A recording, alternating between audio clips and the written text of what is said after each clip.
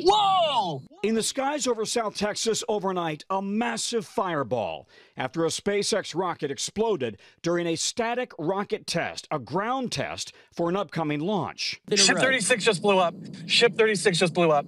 SpaceX, led by Elon Musk, said the Starship rocket experienced a major anomaly while preparing for its 10th flight test, adding that all personnel are safe and there are no hazards to residents in surrounding communities. The explosion rattled nearby residents who posted videos on social media.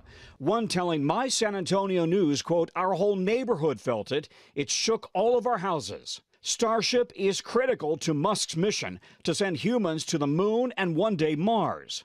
Making life multiplanetary or extending life to Mars, the idea there is to ensure the long term survival of, of life and consciousness.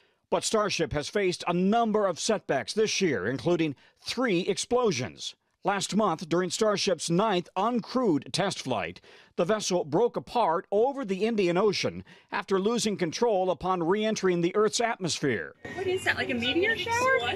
And in January and March, just minutes into test flights 7 and 8, another disaster.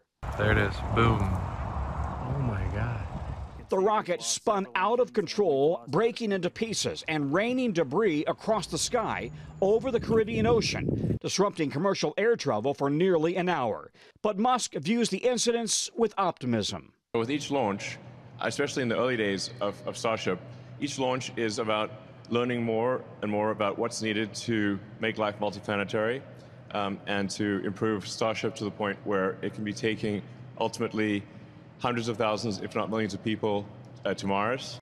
Yeah, Musk really believes all of us will eventually need Mars as another planet to live on. Starship is a massive project, high stakes, NASA banking on it to get to the moon and, of course, Mars. But these high profile setbacks come in a bad year for the world's richest man, a very public falling out with President Trump after Musk was put in charge of efforts to slash government spending and jobs. And then Tesla sales worldwide have fallen, particularly in Europe, as Musk has become so polarizing. At one point, Tesla stock was down 60% this year. It's now recovered some of that, now down 20%. Laura? All right, Tom Costello, thank you.